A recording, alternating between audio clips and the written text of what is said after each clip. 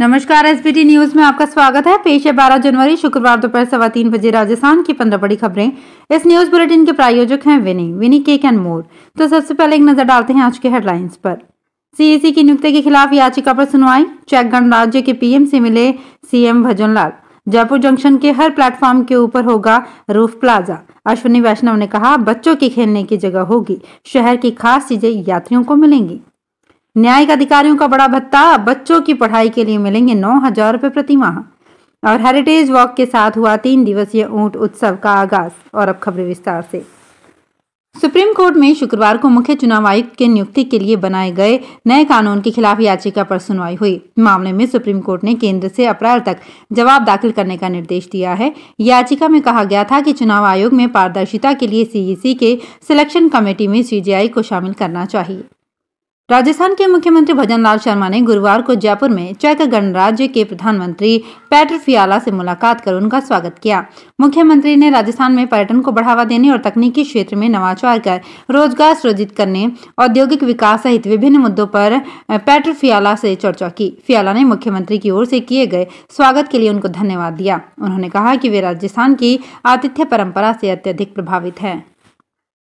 Railway मंत्री अश्विनी वैष्णव आज एक दिवसीय दौरे पर जयपुर में हैं। यहाँ उन्होंने कहा, जयपुर रेलवे स्टेशन पर बहुत बड़ा रूफ प्लाजा बनेगा, जितनी पटरी और प्लेटफॉर्म्स पर हैं, इसके ऊपर एक बड़ी छत बनेगी। इस रूफ प्लाजा पर आराम से यात्री बैठ सकते हैं, बच्चों की खेलने की जगह होगी। यहाँ जयपुर की खास चीज़ें यात्रियों को उपलब्ध कराई जाएगी। ऐसी स्टॉल्स होंगी, इससे आने जाने वाले यात्री जयपुर की एक सौगात यादगार के रूप में लेकर जाएँगे। इस दौरान रेल मंत्री ने कहा, जयपुर जंक्शन को वर्ल्ड क्लास स्टेशन बनाया जाएगा। इसके साथ ही सांगानेर स्टेशन को अमृत भारत योजना में शामिल किया गया है। इस तरीके से अब राजस्थान में कुल चौरासी स्टेशन ऐसे हो गए हैं जिन्हें अमृत भारत योजना में शामिल किया गया है। न्यायिक अधिकारियों को बच्चों की बारहवीं कक्षा तक की पढ़ाई के लिए प्रति माह नौ हज़ार रुपए तक मिल सकेंगे। वहीं सरकारी खर्च पर हर तीन साल बाद तीस हज़ार रुपए तक का मोबाइल भी वे खरीद सकेंगे। सुप्रीम कोर्ट ने द्वितीय न्यायिक वेतन आयोग की सिफारिशों के आधार पर यह आदेश दिया। आदेश में कहा गया कि वर्ष दो हज़ार से न्यायिक अधिकारियों के बच्चों की बारहवीं कक्षा तक की पढ़ाई के लिए प्रति माह दो हज़ार दो सौ पचास रुपए शिक्षा भत्ता दिया जाएगा। हॉस्टल खर्च के लिए छह हज़ार सात सौ पचास रुपए अतिरिक्त दिए जाएँगे। जिन बच्चों को विशेष देखभाल की आवश्यकता हो, उन्हें ये राशि दो गुना तक मिल सकेगी। सुप्रीम कोर्ट के आदेश के अनुसार चिकित्सा भत्ते के रूप में प्रतिमाह सेवानिवृत्त न्यायिक अधिकारियों को चार हज़ार और सेवारत को तीन हज़ार रुपए दिए जाएँगे। इसका लाभ एक जनवरी 2016 से दिया जाएगा। उपचार कैशलेस होगा, जिसकी प्रक्रिया हाईकोर्ट द्वारा गठित कमेटी तय करेगी। आपात स्थिति में नजदीकी अस्पताल में उपचार की छूट होगी। सोसाइटी ऑफ़ फॉर्मर जजेस के अध्यक्ष पदम कुमार जैन ने कहा कि कैशलेस उपचार समय की आवश्यकता है। अंतर्राष्ट्रीय ऊट उत्सव का आगाज़ बीकानेर में शुक्रवार से हो गया। तीन दिन तक आयोजित होने वाले उत्सव में अलग अलग जगहों पर विभिन्न कार्यक्रमों का आयोजन किया जाएगा। उत्सव को बड़े स्तर पर ले जाने के लिए जिला प्रशासन और पर्यटन विभाग की ओर से तैयारियाँ की गई है। ज़्यादा से ज़्यादा विदेशी सैलानी इसमें हिस्सा लें, इसको लेकर भी प्रयास किए जा रहे हैं। इस बार पर्यटन विभाग की ओर से कई नए कार्यक्रमों को जोड़ा गया है। उत्सव में पहले दिन की शुरुआत हेरिटेज वॉक के साथ हुई। इस दौरान रामपुरिया हवेली से लेकर बीकाजी टेकरी तक हेरिटेज वॉक का आयोजन किया गया। इलेक्ट्रो होम्योपैथी चिकित्सा परिषद की ओर से राष्ट्रीय इलेक्ट्रोपैथी दिवस के उपलक्ष्य में इलेक्ट्रोपैथी सेमिनार का आयोजन कल तेरह जनवरी को सुबह सवा ग्यारह बजे झलाना संस्थानिक क्षेत्र स्थित राजस्थान इंटरनेशनल सेंटर के मुख्य सभागार में होगा। इस राष्ट्रीय सेमिनार के मुख्य अतिथि उपराष्ट्रपति जगदीप धनखड़ होंगे। वहीं अति विशिष्ट अतिथि मुख्यमंत्री भजनलाल शर्मा होंगे। विशिष्ट अतिथि उप मुख्यमंत्री प्रेमचंद बैरवा होंगे। इस सेमिनार का विषय डिज़ीज़ एंड इलेक्ट्रोपैथी अप्रोच है। सेमिनार के दौरान तीन तकनीकी सत्रों में मूत्र रोगों पर इलेक्ट्रोपैथी दावों के प्रभाव पर व्यापक चर्चा होगी और पिछले एक वर्ष में क्लिनिकल डेटा तथा रिसर्च के परिणामों को सबके समक्ष रखा जाएगा।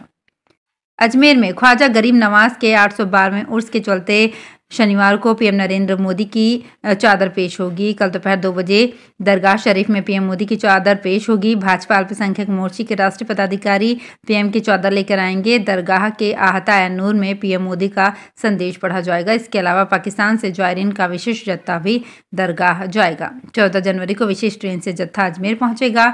जत्थे में तीन सौ से चार सौ पचास पाक जायरीन शामिल हो सकते हैं।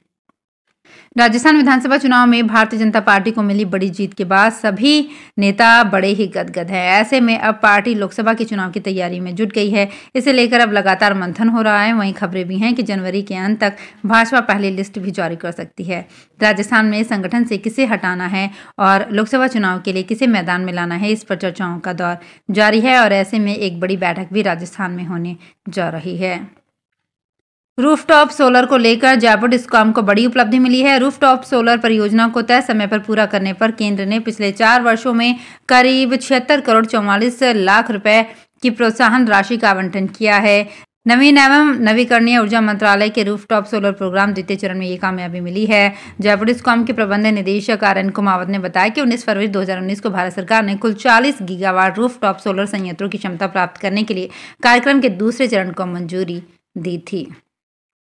अलवर ज़िले के सरकारी स्कूलों का बंटवारा होने के बाद अब केवल ज़िले में एक हज़ार पाँच सौ छियानवे सरकारी स्कूल संचालित हैं और तीन जिलों को मिलाकर दो हज़ार सात सौ बयासी प्राथमिक से लेकर उच्च माध्यमिक स्कूल संचालित हैं। इन सभी सरकारी स्कूलों में शैक्षणिक और गैर शैक्षणिक के छह हज़ार छह सौ छियासी पद खाली चल रहे हैं।